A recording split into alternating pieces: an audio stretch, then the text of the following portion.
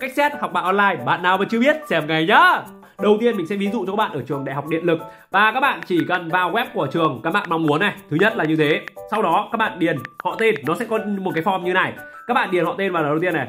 Sau đó anh em điền ngày tháng năm sinh này. Sau đó các bạn điền giới tính này. Các bạn điền à, năng à, nơi sinh sống, dân tộc, căn cước công dân, thành phố các bạn sinh sống, quận huyện ở đâu. Đấy, các bạn chọn vào đây cho mình. Đó, điền email các thứ này đó, các bạn ờ, làm y lúc như này cho mình. Đó nơi học của các bạn ở lớp 10 11 12 ở đâu các bạn cũng điền ngay cho mình. Ngay vào luôn ngay vào luôn.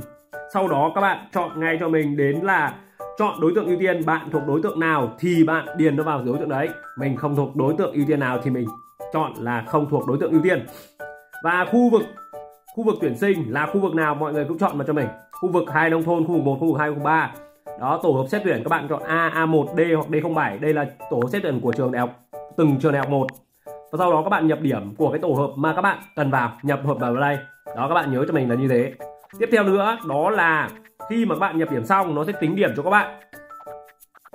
Nó sẽ tính điểm cho anh em.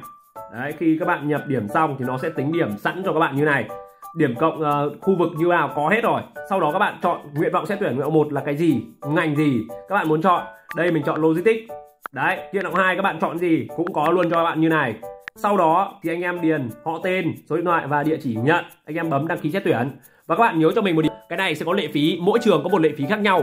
Và ba cái quan trọng ở đây mà các bạn cần biết đó là đó là các bạn cần phải in cái này ra, rồi sau đó các bạn nộp theo địa chỉ của nhà trường, có hướng dẫn ngay ở phía dưới. Các bạn đọc cho kỹ những cái này cho mình nhá. Và đó là toàn bộ những gì về xét học bạ online. Bạn nào mà chưa biết thì cho bạn bè vào đây để họ cùng biết các bạn nhá.